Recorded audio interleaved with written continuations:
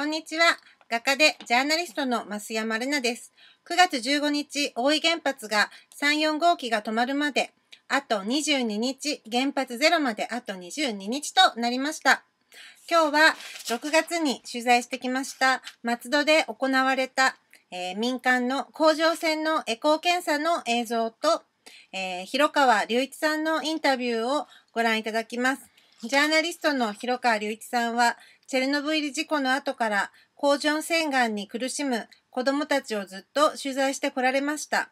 私はエコー検査を行う部屋の中で広川さんと一緒に子供たちの小さな首に、うん、エコーの機械が当てられる様をカメラで収めたわけなのですが、ああ、本当に日本が今、チェルノブイリになってしまったんだな、ということをひしひしと感じました。甲状腺がんになっているのはただの数字ではありません。体を傷つけられているのは本当に一人一人の子供たちなんだな。今目の前にいる子供たちなんだな。そんな風に思いました。この状況を少しでも改善するために、えー私たちができることは何でしょう皆さんも見て一緒に考えましょう。1個目だった。よ よろしくお願いします。ろしくお願いします。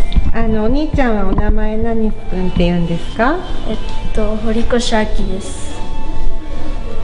あきくん、あきくんは何年生ですか？えっと、5年生です。大丈夫だよ。お兄さんからね、お手本頼んだよ。ちゃんです。はい、どうぞ。失礼します。あきくんどうぞ。あきくんこんにちは。こんにちは、ねしますか？いや高いね。何年生？五年生。お母さん何か異常ないですか？お母さあ、んはいはい。特に異常はないですか？今ですか？はい。えーっと、ちょっと引っ越しをしてストレスからか胃腸炎気味になあったりもしてるんですけども。今あきくんのこれ甲状腺ですけどね、はい丸いのが器官でその左右に、えー甲状腺が映ってますけどねあ。左右のが甲状腺。そうね。ちょ骨盤みたいな形なんですそうね。ね。なんかくるって回ってます。これ正常ですけど。はい。だから右側の甲状腺を調べます。はい。そうですね。あきくんの甲状腺に小さい黒い袋がいくつあると思う？これ。すごくたくさんそうね。あるよう1、に。2、3、4、5、6、7、8、9と11、12、13。はい。多数のこれ脳胞といってはい袋があります。あ最大径がね。はい。最大径3.3ミリの脳胞を十数個見ています。はい。プリント。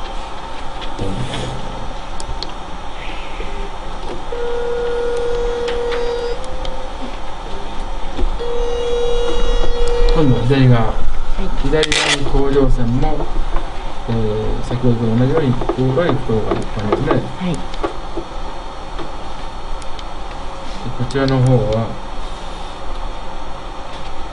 左よりは少しもう全部黒い袋ですね、はい。ですね脳胞がたくさんありますけど、はい。少し左の方は大きくて最大径があ3.6ミリの脳胞を多数見ております、はい。多数ですね。えーだからといってこれは異常とは考えません。大きさもはい。あー1センチ以下ですし数が多いけどおそらく自然にそのうちはい。消えていく可能性がありますけど、まあ、経過観察で十分です。はい。脳胞があります。はいプリント。おしまい。はい。おしまい。はいおりこさんはいじゃあはい。次の方は？あ、次、堀越かのはいです。はい。どうぞ。かなちゃんどうぞ。フォローにしてください。おかなちゃんね。はい。ちゃん。はい。こんにちは。はい。かなちゃん何歳ですか？はい。かなちゃんもお母さん気になることないですか？はい。あ、かのは元気です。いつも。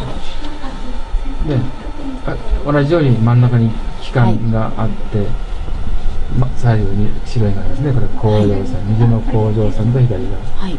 ちょっとつながってますけど、右右と左が、ねはい。私は勘違いしてました。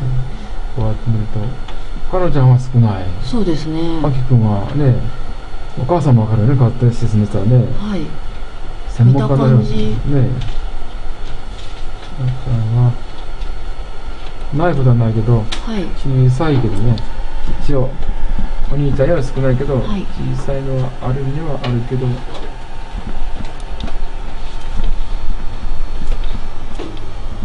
まあ両方両方そのものががんになる可能性はないんですけど、はい。まああのいろんな影響が甲状腺に与えられたことの、まあ、印になりますから。あ、はいだから。これ自体が危険な状態になる可能性はないですけど、だけどこういうふうにたくさんいくつか出てきてるっていうのでは僕はあの、まあ、また次の機会ありましたらい連絡取ってもらって、はい。あ、お兄ちゃんの方がやっぱりの方多い。って書いてありましたよね。ははいい。ちょっとまた見ていただいた方がいいですその方が僕はいいと思いますね。あのこ現在の状況はあの危なくないし心配ないというふうにちょっと待って先生がおっしゃった通りですけど、だからまた連絡してください。あ、はい。ありがとうございます。はい。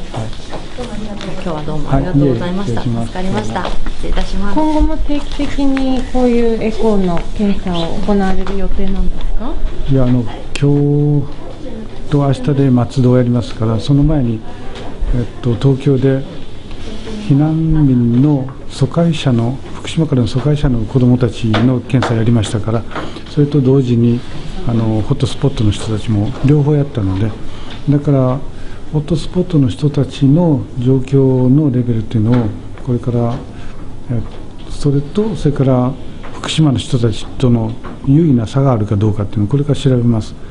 それであまりやっぱりその福島の人たちの方が圧倒的にあのいろんな兆候が出てるようでしたら調査はあのやっぱり福島を優先してやりますから。今のところどちらとも東京のホットスポットでもいわきとかそういうところよりも高い場所がいっぱいありますからね。だからちょっと今心配してこちらの方の一応調査というか検診しようというふうにそういうふうに思ったんですけど。だけどなんかどちらに集中すべきかっていうのがちょっと分から分からなくて。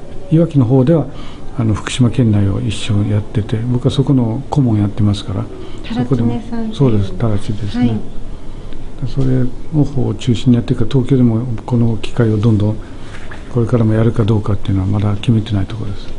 今回の結果によって。結果を、ええ。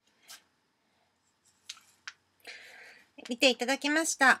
えーこの、えー取材の時にあったエコーの機械は、いわきにある測定所、タラチネというところが持っている機械なのですが、この測定器は1回、え1日1万円で貸し出しも可能ということです。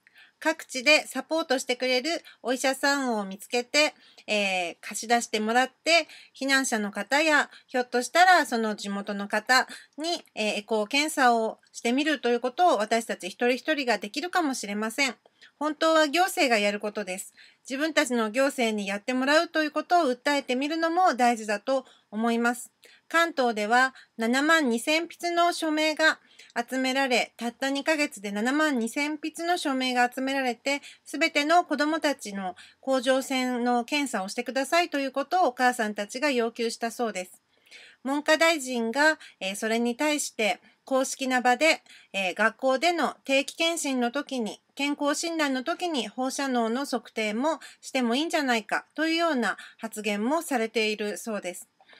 また、えー以上の取材をもとに、子どもたちをどうやって守っていけるのかということを様々な角度からまとめ、ドイツでの、えー原発、廃炉、そして再生可能エネルギーの状況も取材してまとめる、えー映画ママの約束を制作中です。ぜひ、えー、カンパお願いいたします。あと100万円ぐらい、えー足りません。今、本編集に取り掛かるところで、早く皆さんのもとに、えー届けたいと思います。どうもよろしくお願いします。